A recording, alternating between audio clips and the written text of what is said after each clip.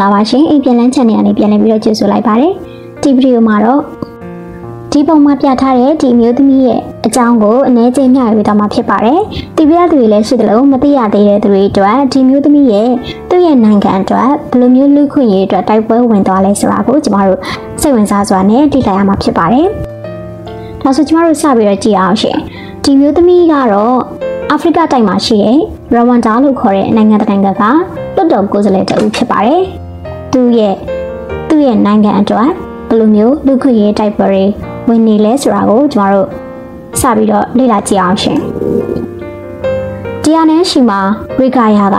ရဝမ်ဒါနိုင်ငံမှာစီးပွားရေးလုပ်ငန်းရှင်တဦးဖြစ်ပါတယ်။2018ခုနှစ်ကရဝမ်ဒါသမ္မတရွေးကောက်ပွဲကိုဝင်ရောက်ရှင်ပြိုင်ဖူးခဲ့တယ်။ အမျိုးသမီးအခွင့်အရေးအတွက်လှုပ်ရှားနေသူတဦးဖြစ်ပြီးတော့သမ္မတရွေးကောက်ပွဲကို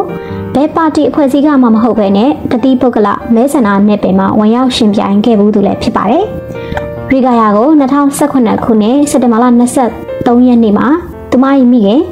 တခြားအတိုက်အခံ၄ဦးနဲ့အတူဖမ်းဆီးရေးယူခြင်းခံလိုက်ရပါတယ်။တိုင်းပြည်အတွင်းမငြိမ်းချမ်းအောင်စုပူလှုပ်ဆော်သည်ဟုဆိုကဖမ်းဆီးရေးယူလိုက်ခြင်းဖြစ်ပါတယ်။ဒီဟာနဲ့ရှိမာရီဂါယာကို1982ခုနှစ်မှာ ကီဂါလီလို့ခေါ်တဲ့မြို့လေးမှာမွေးဖွားခဲ့ပါတယ်။တွန်စီလူမျိုးမိသားစုကနေဆင်းသက်လာပြီးတော့မွေးချင်း၃ယောက်ရှိတယ်။သူ့ဖခင်ကတော့ရဝမ်ဂျာမျိုးချစ်တပ်ဦးကိုထောက်ပံ့နေတဲ့အရေးပါတဲ့စီးပွားရေးလုပ်ငန်းရှင်တစ်ယောက်ဖြစ်ပါတယ်။2015ခုနှစ်ကသူ့ဖခင်ကကားတိုက်ခံရပြီးကွယ်လွန်သွားခဲ့တယ်လို့ကျွန်တော်တို့သိရပါတယ်။မိသားစုကသူ့ရဲ့မိသားစုကတော့နိုင်ငံရေးလှုပ်ကြံမှုတစ်ခုလို့ဒီနေ့ထက်တိတာယူဆနေကြပါတယ်။ဘလို့သိဆုံးသွားလဲဆိုတော့သူ့အဖေမောင်းလာတဲ့မာစီးရီးဘစ်ကာကို ကိုနေကားကြီးတစ်စီးကခေါင်းညှင်းဆိုင်ဝင်တိုက်တဲ့အတွက်ကြောင့်မလို့သူဖခင်ကနေရာမှာပွဲချင်းပြီးသိဆုံးသွားခဲ့ရတာဖြစ်ပါတယ်။ဝိကယာကစည်ရင်ကင်လုပ်ငန်းကိုကောင်းစွာကြမ်းကျင်သူတူဖြစ်ပါတယ်။ သူကသမရပေါ်ကာကာမီလက်ထက်မှာအမျိုးသမီးအခွင့်အရေးအတွက်တက်ကြွစွာလှုပ်ရှားနေတဲ့သူတဦးဖြစ်လာပါတယ်။သမရကာကာမီလက်ထက်မှာအမျိုးသမီးတွေကိုတရားမျှတမှုမရှိဘဲနဲ့ဖိနှိပ်ဆက်ဆံမှုအပေါ်စန့်ကျင်တိုက်ပွဲဝင်နေတဲ့သူတဦးလည်းဖြစ်ပါတယ်။2018ခုနှစ်မေလ3ရက်နေ့မှာကီဂါယာကရီဂါယာကသမရရွေးကောက်ပွဲကိုတတိပုဂ္ဂလအနေဖြင့်ဝင်ရောက်ရှင်ပြိုင်ခဲ့တယ်။သမရရွေးကောက်ပွဲဝင်မယ်လို့ကြေညာပြီး82နာရီကြာမှာသူ့ရဲ့အဝိစလစ်ပုံတွေအွန်လိုင်းပေါ်မှာပြန့်နှံ့လာခဲ့ပါတယ်။သူ့ ကိုတိုက်ခိုက်တဲ့အနေနဲ့စတင်လှုပ်ရှားလာခြင်းဖြစ်တယ်လို့အားလုံးကအမှတ်ချက်ပြုကြပါတယ်။သို့တော့ဝီဂါယာကသူ့လိုရမယ့်အလုပ်ကိုဆက်လုပ်ခဲ့တယ်။စည်ရသားများပပျောက်ရေး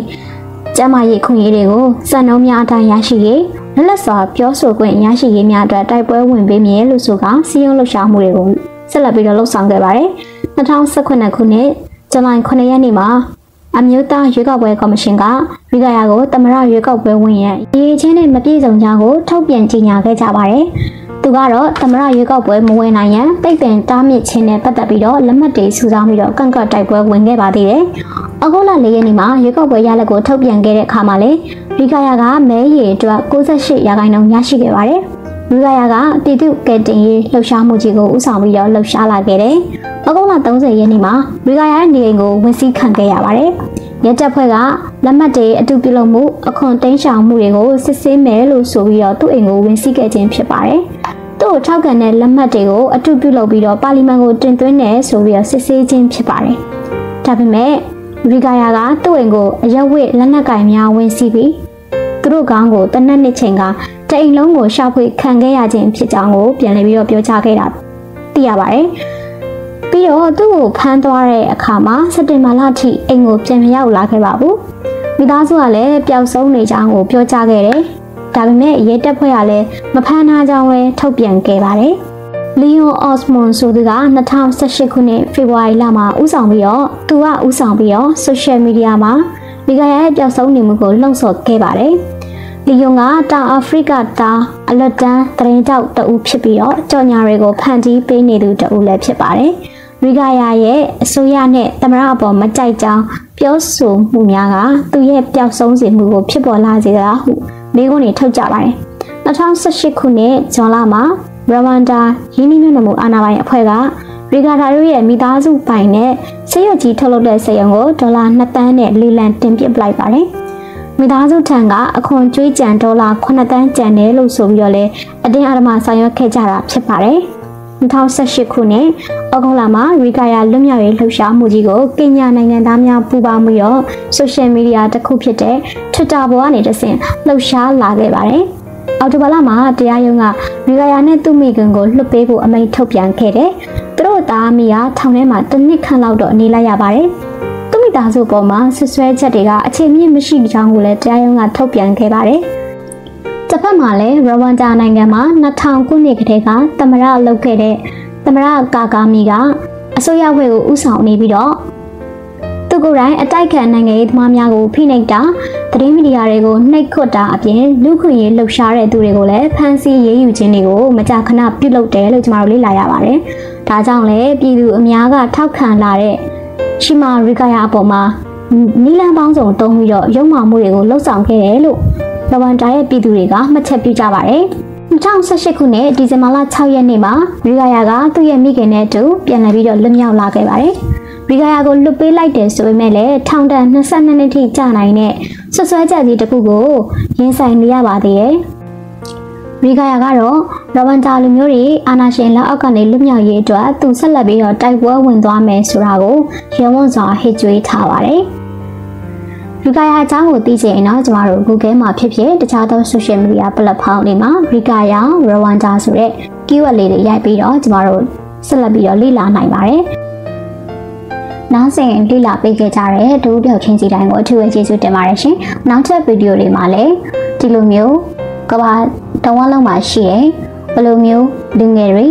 ဇက်မျိုးဇက်တွေအပါအဝင်တခြားသောဒုက္ခရေးနဲ့ပတ်သက်ပြီးတော့လှုပ်ရှားတဲ့သူတဦးချင်းစီတိုင်းရဲ့အဖွဲ့အစည်းတစ်ခုချင်းစီတိုင်းရဲ့